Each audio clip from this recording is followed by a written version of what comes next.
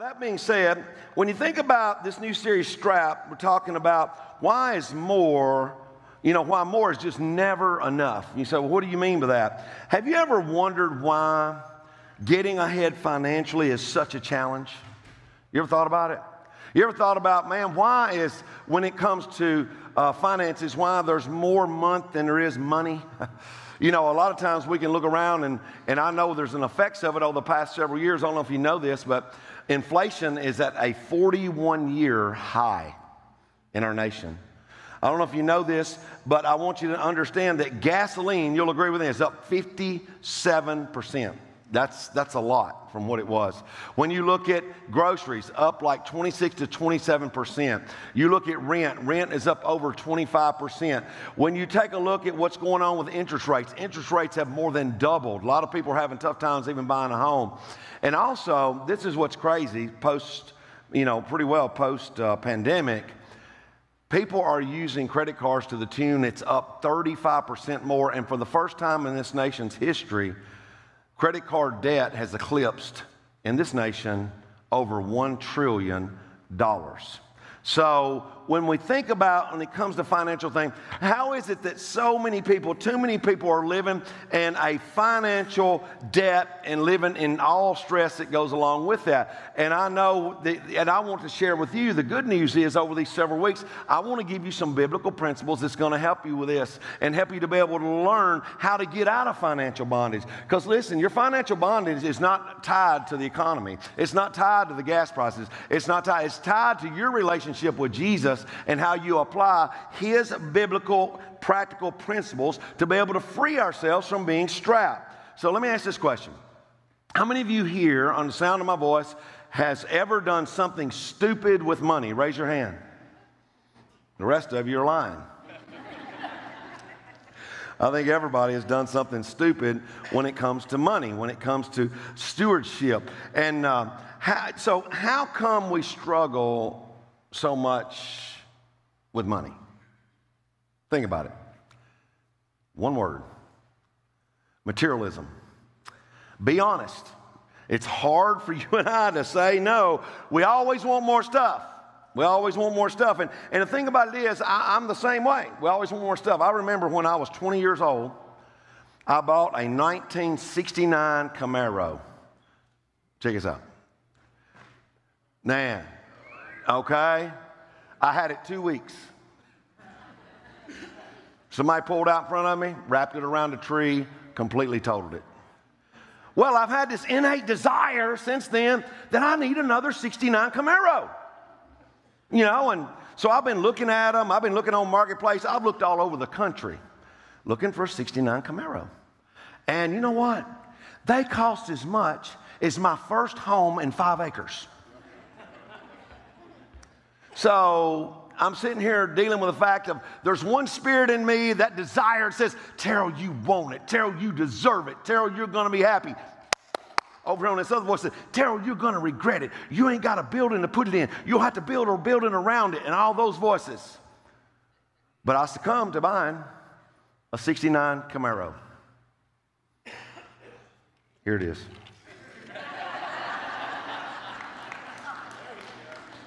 You know, zoom in on that. It's a 69 Camaro, four speed, and it, it runs pretty good, you know. The only problem is with it when I get down here and run it, I can't, uh, I can't ride in it. That's the issue. So, how many of you are like me? You got your desires on one side you say, I work really hard. I deserve this. I need it. I want it. It's going to make me happier. But then there's another voice that speaks to you and says, That's not such a good idea. You're going to regret this. Not smart. You understand what I'm saying? Say yes. So, the choice is between two, two desires that we have. And the question is, what are we going to choose? Am I going to choose that I want to get this new house because it's up and coming subdivision? Am I going to choose to get that car? Am I going to choose to get that TV? Am I going to choose to get that new Prada purse that's in the line that you ladies love? Or am I going to get those new golf clubs? See, the thing about it is, it's always been said we often buy things that we don't need with money that we don't have to impress people that we don't even like, right? So, with that being said, we all face materialism. It is a struggle, especially in our culture. You might be thinking, well, you don't understand, Pastor. Have you seen the new iPhone 15? It's made out of titanium. And that voice saying, You need it, you got it, you work, your emails, all this stuff. And the other voice over saying, uh, You don't need that. You know, you're, you're not in even the double digits yet. You're three, four versions, five versions down. You're in an iPhone 8. You know, so that's always a struggle on what we deal with. And so it's just tough being able to tell ourselves that contentment is the key, right? So, materialism is a continual temptation that we all face here under the sound of my voice, and that we say to ourselves that we need it, we got to have it, we're going to be happier. And trust me, you're never happier, seriously, after you get it. Matter of fact, we're more empty, we're more in debt, and we're more miserable. And then when you come to church, you'd like to give, but you justify why you don't. And really, it hurts to get in on what God is doing. So the Bible teaches us that there's a battle within every heart of every person that follows Jesus between doing God's desires or chasing our own desires. So today, I want to jump in. If you pull out your message notes or turn on the app that you've got there, or, and, and you can follow along with me. But I want you to look at what Paul told the church at Philippi, at Philippi here in 2 and 13. He says, For God is working in you. Look at the person next to you and say, God is working in you giving you the desire and the power to do what pleases Him. See, when you become a Christ follower, and you give your life to Christ, you're born again, God's Spirit enters your life and He begins to give you desires to be able to do that which is right. That, when you come to your relationship, that you seek Him with all your heart. You read His Word because His Word is your heart. You begin to talk to Him and you pray to Him. You begin to get the desire to treat people around you with love and respect and honor. You do what you can do to be able to be, be a good husband or a good wife. You begin to be the person that's going to work hard and, and work for your family family and what you're doing. You also want to let God, and God gives you desire to be a good steward of the financial wherewithal that He gives you. God gives you the desire to get out of debt and, and to be able to invest in his kingdom and invest money wisely, not mismanage that what God blesses you with. Bring tithes and offerings to God's church so you want to further the kingdom of God. If you're a follower of Jesus Christ, God puts this desire in your heart. But, everybody say, but. Conjunction, junction, what's your function? You still have your own desires that are still there. Look at this next verse, Proverbs 27 20. Just as death and destruction are never satisfied, so say these next five words with me Human desire is never satisfied. You might want to underline that. You might want to make it a refrigerator verse or put it on the rear view mirror of your car. Desire to get more, desire to be able to have more. And we're thinking it's going to bring, make us happy, which it will never satisfy. Our human desire, the voice that's in us that says, I want it, I need it, I got to have it, I'm going to be happy, I deserve it. Listen, if you put your desires before God's desires in your life, which is materialism, you're going to be miserable. That's just the way it is. So the question is today how do we replace the desire of materialism with God's desires for us to be able to gain that proper biblical perspective when it comes to money and finances? Three biblical truths I'll throw out at you. Money is personal. I'll just be honest with you. It's personal. Here's what blows my mind about social media. I've never witnessed a time that people will throw all their deepest, darkest secrets and everything they're going through on social media. They'll tell it all. And if it's you, don't raise your hand. However, say, however, when it comes to money and financial issues, we're less reluctant to be able to talk about it. In other words, let me give you an example. Let me, let me get you to do this. I want everybody here to lean to your neighbor in just a second, and I want you to tell them exactly how much money you make this year and tell them exactly how much debt you've got.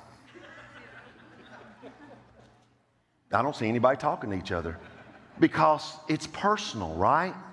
It's between you and God. And you're thinking, I might tell some other stuff, but I'm not telling that. Also, money is powerful.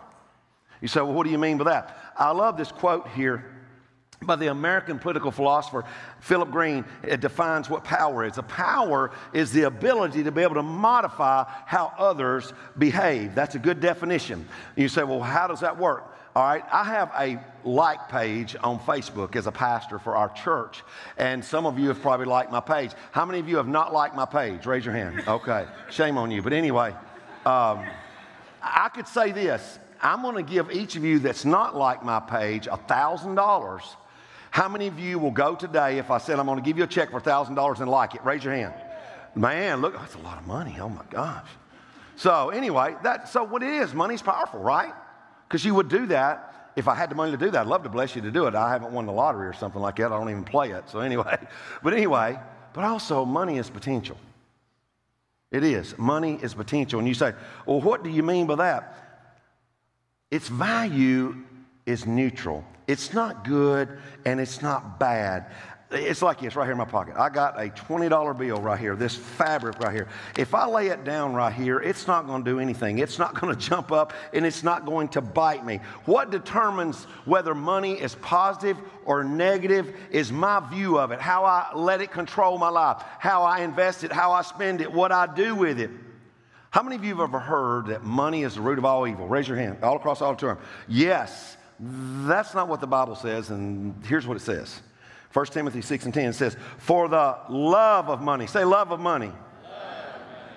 is the root of all kinds of evil. And some people craving money have wandered from the true faith and pierced themselves with many sorrows. You might want to underline those four words the love of money. Money isn't evil, but the love of money can lead to all kinds of evil things in your life. When your perspective of money gets really warped, it can mess up your life. It can help you to be able to get your priorities completely out of order. And when money gets a higher priority than God does in our life, and we love money more than we love God, listen to me, that's materialism. That's exactly what it is. Materialism is a condition of my heart to where I am preoccupied with material things of the world more than I'm preoccupied with the spiritual things of my life with God. That's what gets in, and it supersedes us. See, materialism is an issue of the heart. Debt is an issue of the heart. Mismanagement of finances is an issue of the heart. Overspending is an issue of the heart. That's what it is. What I'm talking about here are the important things to be able to honor God. Now, I'm going to give you some great steps, but it's up to you whether you want to do it or not, or you want to continue being strapped for those that you may be strapped right now. I'm going to give you a plan. I'm going to talk about things to be able to develop, to be able to help you. But if your heart's not right, it's not going to do you any good. To be able to get out of debt, to be able to know that materialism will mess you up, that it is a heart issue. God doesn't bless a mess, okay? But God will bless you to get out of a mess when you get your heart right. He will not bless mismanagement of what He blesses you with. I hope you understand that. Look what Jesus said himself in Matthew 6 and 24. He said, No one, say no one, can serve two masters, for you will hate one and love the other. You will be devoted to the one and despise the other. You cannot serve God and be enslaved to money. God can't be first place in your life if money is first place in your life. It can only be one, it's in control. It's either going to be money or it's going to be God. You need to make you need to ask yourself that question. And the question is this, what's in control of your life? Is it money or is it God? Because maybe you realize right now that you've been struggling with money for quite some time. You know why you struggle with money? Once again, it goes back to materialism. Is your problem with money getting in the way of what God wants to do in your life? God wants to bless your life. I promise you that. It's when you steward the blessings He gives you in His way and in His will. So there's a few things I want to share with you about how can I get released of this financial straps that's continually been on my life. How do I get through that? First thing you got to do, you got to own it that you got a problem with it. And you say, what do you mean by that, Pastor? Most people, even Christians, listen to me, they live in complete denial that their money is in a mess, that they're in debt. They're living paycheck to paycheck, which about 70% of the people in this nation are one paycheck away from disaster. You can't honor God God financially. And you think, well, I, I tip God. God understands. No, God understands you're not honoring Him. You can't say it's not a big deal. And then I have people come up to me and they say this they say, Pastor, I don't think you should talk about money in church. Ooh, it is getting tense in the house today. Did you know? Look at the person next to you and say, Did you know? Well, if you didn't know, I'm going to tell you. Jesus, when he walked the earth, talked more about financial stewardship and how that we steward ourselves with the material things of life than he ever did about heaven or hell. Why would Jesus do that? Because he knew that you and I were going to struggle with it. We live in a materialistic world. And He's wanting to help us to be able to do it His will and His way. But when things are messy, when, you, when things get all messed up and, and things are not going so good, what do we end up doing? We talk to Him and say, God, I'm struggling financially. God, will you bless me? We want to snuggle up really, really close to God and say, God, help me. We're in a, a financial mess. And He's thinking, okay, you want me to help you? Oh, you need me. Okay, I will bless you. But listen, you, there are some things that I need for you to do as well and it speaks truth into our lives. And what do we do a lot of times? We pull back. It stops us short of doing something that He wants us to be able to do. And what is it that stops us short of doing something God wants us to do? It's our idols. It's our idols. It's those American idols. That'd make a good show, wouldn't it? Look at Ezekiel in the Old Testament. Listen, listen to this. This is interesting in chapter 14. Then some of the leaders of Israel visited me, and while they were sitting with me, then it says that this message came to me from the Lord, Ezekiel saying, Son of man, these, le- these leaders, and the leaders are the so called righteous people of the day, have set up idols in their hearts. God's letting them know that. You say, well, what is an idol? Anyone or anything that we love more than Jesus, that's an idol in your life. That's what it is. Anything you put ahead of God is an idol. It says, they have embraced things that will make them fall into sin. Why should I listen to the request? Tell them, this is what the sovereign Lord says. The people of Israel have set up idols in their hearts and fallen into sin. And then they go to a prophet asking for a message. So I, the Lord, will give them this kind of answer their great idolatry deserves. I will do this to capture the minds and hearts of all my people who have turned from me to worship their detestable idols. God says, The one thing I will speak to them about is the one thing that they're holding ahead of me their idols. They're idols. When you go to church, no matter what series of messages it is or whatever topic that the pastor's talking about, the thing you're going to constantly hear through the Holy Spirit of God is the one thing that you have that's ahead of God. That's what you'll hear. The moment where you feel like the pastor speaking to me today. And then that is what the topic is that you hear week after week, and you don't like it. You might be thinking the pastor's always talking about sexual sin. The pastor's always talking about uh, people living together. The pastor's always talking about pornography. The pastor's always talking about addictions. Or pastor's always talking about anger. Or pastor's always talking about money. Your problem is not the topic, people, it's your idol that you're putting ahead of God. So you got to own up you got a problem. Something else you got to do, you got to release that pride you're dealing with because pride will take you on a ride. We, you know what pride is? It's when we take credit for the good things that God has done for us in our lives. That's what pride is. Our possessions become basically the sign of how good we are. My status, my symbol, how many people follow me on Instagram and all that stuff. Pride says, hey, look at me. I'm all that in a bag of Cheetos. Look at my stuff. I'm great. Tell what pride will do with you. It'll mess your life up. It will mess you up completely. So, what's God's solution to when we're strapped with that mentality of pride that's going on? You have got to take ownership and just know God is owner and provider of everything you see, taste, touch, smell that you have in your possession. It's the foundational truth that everything we have in life comes from God. When He gives you and I financial blessings, listen to me closely, they belong to God. They are His. You and I are to manage those blessings and use them according to how God would bless us in our lives. We want to bless Him back by being a good steward of that. Now, how many of you here have ever been in a managerial position? Raise your hand. Raise your hand. You've been in that. Okay. If you do good as a manager, you get blessed. If you don't do good as a manager, what do they do? They fire you, right? Well, I don't want to be fired away from great blessings of God because I choose not to manage what He's blessing my life with more. You're not going to bless a manager for your company if they're not doing a good job to manage that what you give them to be overseer of. That's the same way with God. I hope you understand what I'm talking about there. Look at James chapter 1 and verse 17.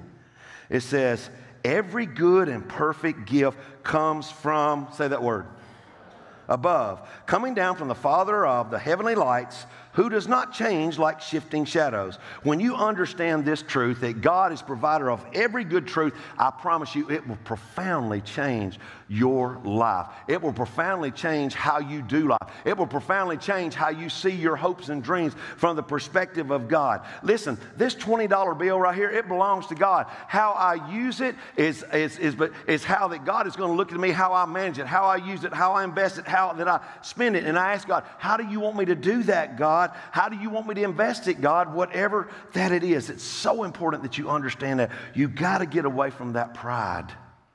Another thing is, is you got to see the problem you have with envy. Man, that is a huge deal, church, when it comes to this society living in America. Y'all agree with me? If you do, say yes. You say, well, what do you mean, Pastor? Envy is a spiritual and emotional poison. Why is that? Because envy leads us to make dumb decisions financially. We might see something that somebody has in their life and we think, we don't have it. I've got to have it. I got to go after it. Next thing you know, you go deep in debt and you realize, man, I am in trouble. I am in over my head. I didn't mean to do that because you got to have the cool gadgets or the better apartment or the nicer clothes.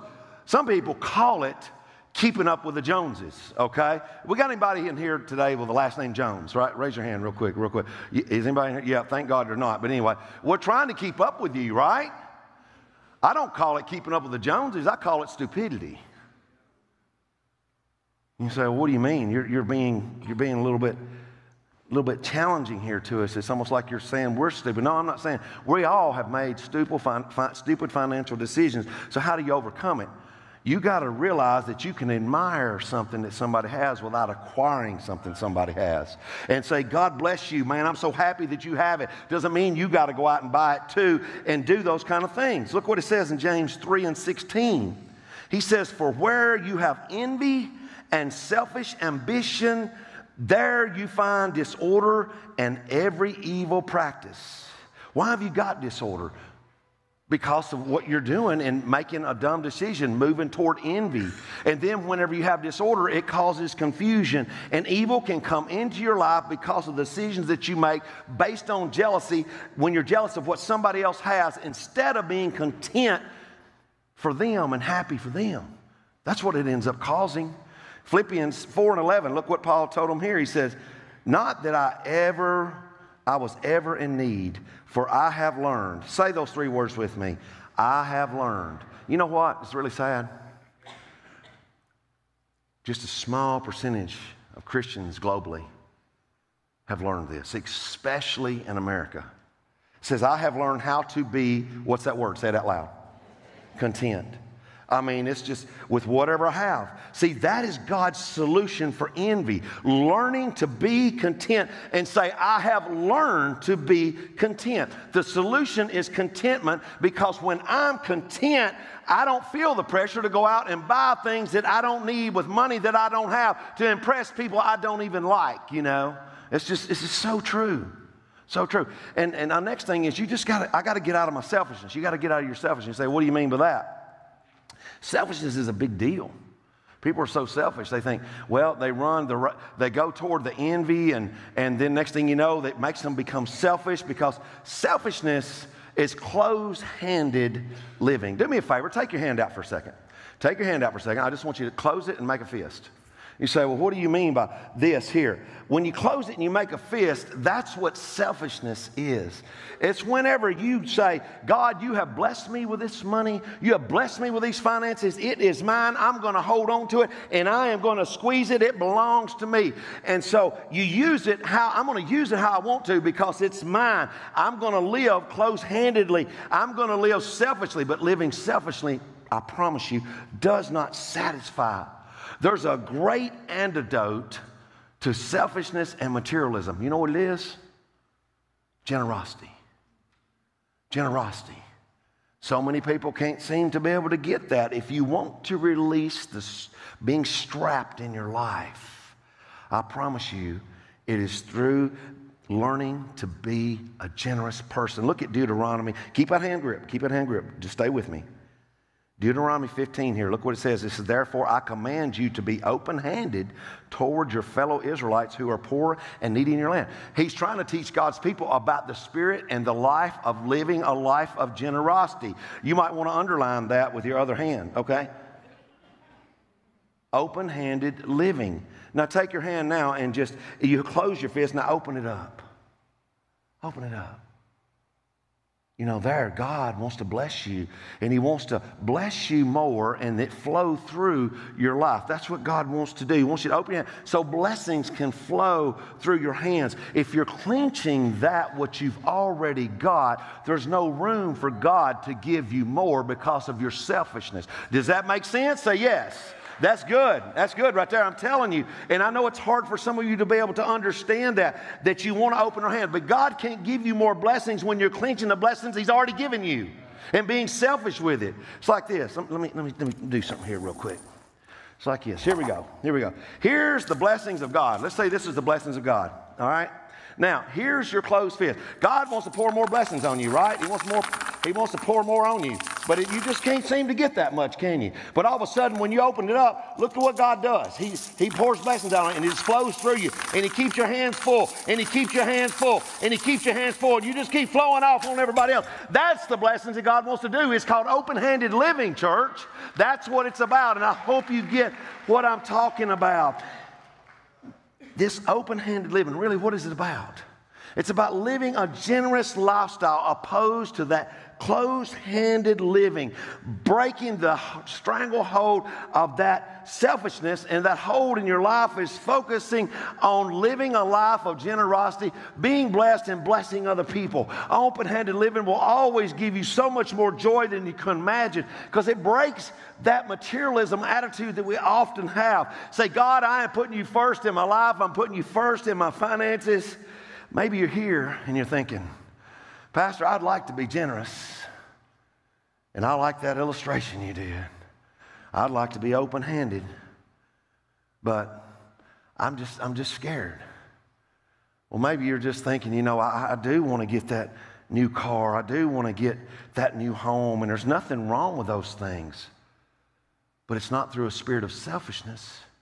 When your hand is opened here, God will flow and bless your life as you bless others' lives. You know, I, have got to go get that new Tesla or I got to go get that new Ford or whatever. And, uh, you know, so I can pull up to the red light and look over to the person next to me and go, I, last time I checked, a, a, vehicle is to get you from point A to point B and back, right? Is that right? So it's just one thing about it, but so many people get so caught up and they're clenching everything that they've got. And the thing about it is, people say, Well, Pastor, I'd like to be open handed living. I'd like to give more to the church. I'd like to da da da da da da da. The economy's really bad. Gas is high. Groceries are off the chart. And I just don't have enough. So I'm just going to continue living close handed because I'm afraid to live and take that step of faith and live a generous life. Let me tell you what that is. That is fear of the enemy coming at your life that you can't step into the blessed life. From living a life of being close handed to an open life, of being open handed and being a person that's going to be generous. That is what's going to keep you from living that materialistic lifestyle that will pull back the blessings additionally to your life and the blessings that God wants to give through your life. Don't listen to me. Don't allow Satan to strap down your life to where that you can't experience God's blessings to the full and because God wants to bless your life more than you can ever imagine, ask, hope or think. I hope you get that today. One more thing it's really cool that will release the straps of your life when it comes to financial things is that you invest in people to be able to get them into heaven. I mean, I just can't imagine a greater thing to be able to invest in in my life. Look at 2 Corinthians chapter 8 here in verse 19. It says, Here he was appointed, talking about these church leaders, by the churches to accompany us as we take the offering to Jerusalem, a service that glorifies the Lord and shows our eagerness to help. Man, they were cheerful givers. They, when it looks to the root of when they talked about them being cheerful givers here in the Church of Corinth, they were hilarious. They hilariously gave. And man, today it's like the doggy downer point of the service. Why is it the doggy downer point of the service for many people? Because you're living a materialistic life.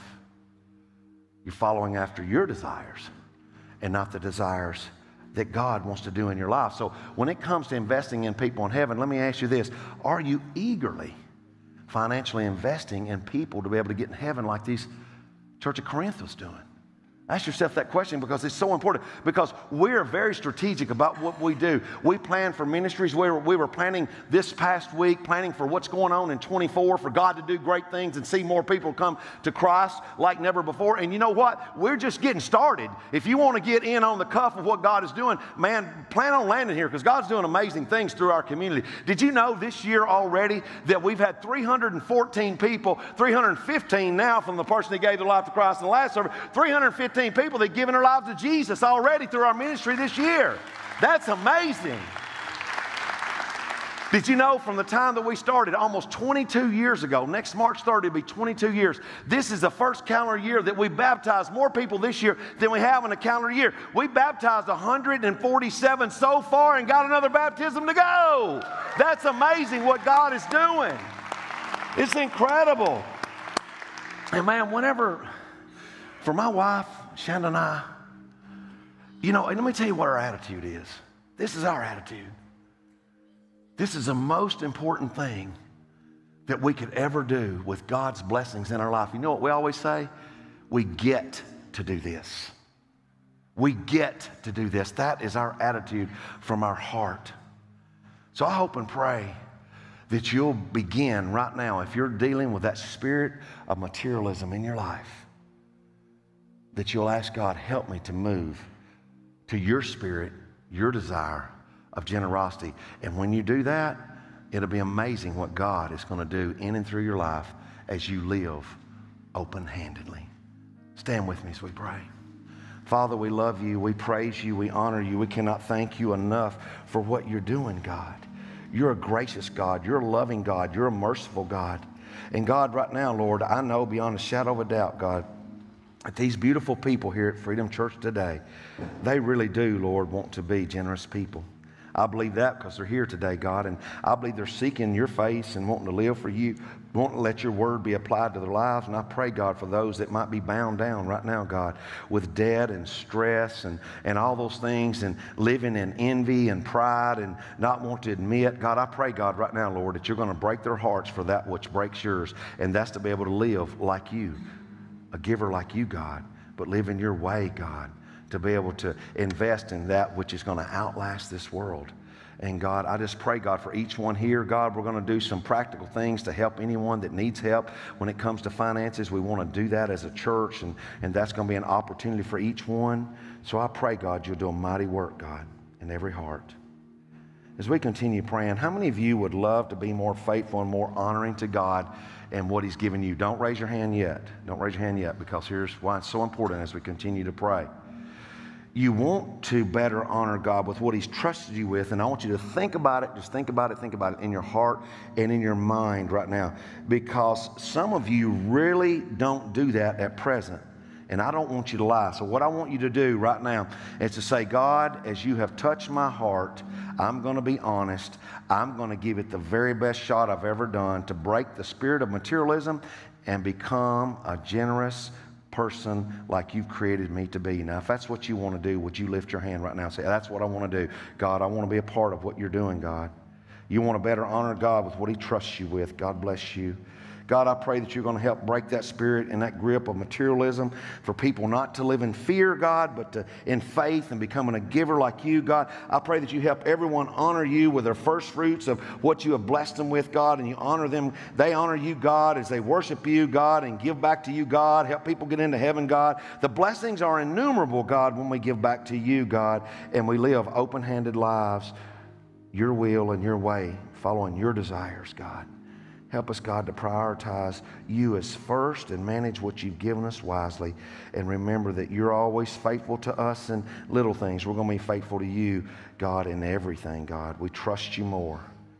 Maybe you're here today and you came for the first time, or maybe you, you right now, you just feel God's Holy Spirit touching and nudging your heart right now. And you're, maybe you're beginning to think about being a generous person. Let me tell you, the most generous person that ever lived was Jesus Christ, God the Father, and His Son.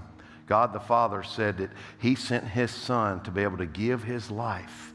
That is a full spirit of generosity. Jesus loved us enough that He could have went back to the throne of God and called down legions of angels and got out of this world, but he didn't do it. He came down the stairway of heaven, Jesus did. He put on skin. He was born of a Virgin Mary. That means the Holy Spirit of God impregnated Mary so he would not be born into sin. He walked on this earth for 33 years. He did more than the Bible says that books could even contain of all of what Jesus did. And next thing you know, he gave his life, his sinless life, took my place and yours on a cross so that you could have a great life now and have a home in heaven. That is the full spirit of a generous, loving, merciful God. And that's what he done for you in your life. Now, if you want to live a life to the full and you want heaven as your home, now as he's knocked on your heart, he wants to ask you to be able to ask him to come and be a part of what God is doing. And He wants to forgive you and He wants to give you the peace that passes all understanding. If that's you today and you've never done it for the first time and you feel Him knocking on your heart, would you simply just shoot your hand up right where you're at and say, I need to give my life to Jesus today, Pastor, for the very first time. I need to ask Him to come into my heart. I need to be able to ask Him to be the Lord of my life just right now. How many of you know you just need to come back to Him as well? Just, I need to come back to God today. I, have just, I've just been staring away from Him. I've been doing life the way I want to. Would you pray with me right now as we pray? God, right now, Lord, I pray you bless each heart here, God, that they be in tune with you, God, living your will and your way, God, being exactly the hands and feet of you, Lord Jesus, in our lives. And may you bless each one richly and immensely in the name of Jesus Christ. We pray, and all of God's people say, Amen. Let's worship, church.